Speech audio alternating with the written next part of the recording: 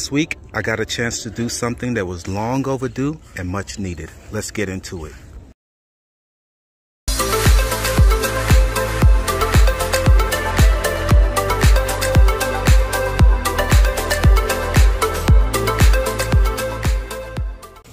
Right, well today, um, have a long overdue project that I've been wanting to get around to doing for a while. Um, it's kind of shameful, but I aerated my lawn um, like two years ago, and believe it or not, um, I have not done any aerating in two years. So today, um, we're gonna try to take care of that. I did get the rental aerator from Home Depot. I got my neighbor coming over to help me get it off the truck. But one thing I decided to do while I was at Home Depot is go ahead and get a roller. I figured um, I've never done this before, so I'm gonna try to roll the front lawn. I'm not gonna do the back lawn since I haven't done any leveling um, and it, it really needs some top dressing and leveling done first. So for today, I'm just gonna roll the front lawn before I do the, the aerating. And um, I'm not gonna have time to do a tripod setup, but I'll try to catch everything on the, the ring camera there and, um, and show you all some footage. All right, let's get this baby filled up.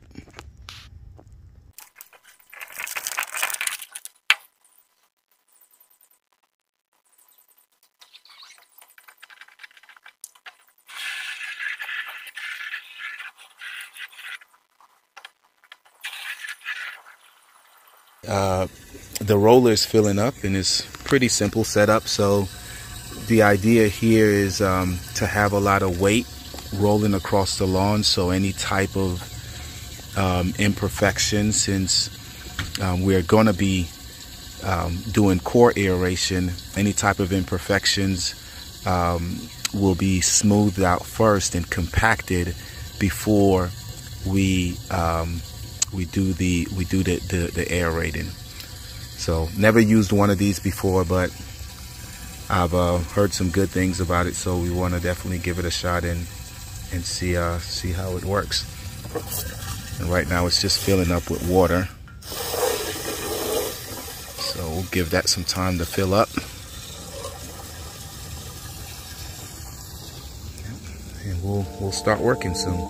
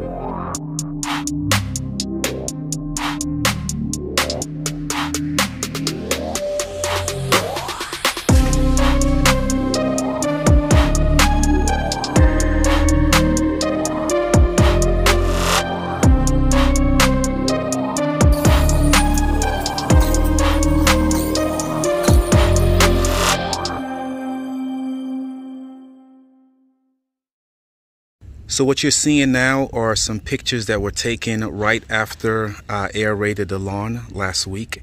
And you can see how beat up the lawn was. Um, really wanted to get into it there and, and make sure I, I um, get some good holes in the lawn.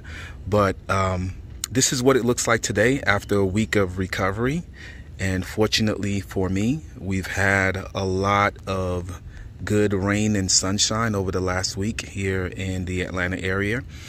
But, you know, again, um, this is something that I'm going to try to do at least once a year. Um, like I said, I neglected doing it over the last couple of years. But aerating your lawn is something that is definitely needed. It um, it helps the compacted lawn, which all lawns become compacted over time. It helps you to get these pockets uh, into your lawn so that nutrients and uh, even rain and, and irrigation and water can get into the lawn and oxygen to promote healthy root, root growth and um, get get just nutrients into the lawn. So, you know, if you found this information helpful or if you have any questions overall about lawn care, aeration, uh, fertilizing, what have you, just um, let me know in a comment down below and consider subscribing and leave a comment. And um, I'll catch you in the next one. Take care.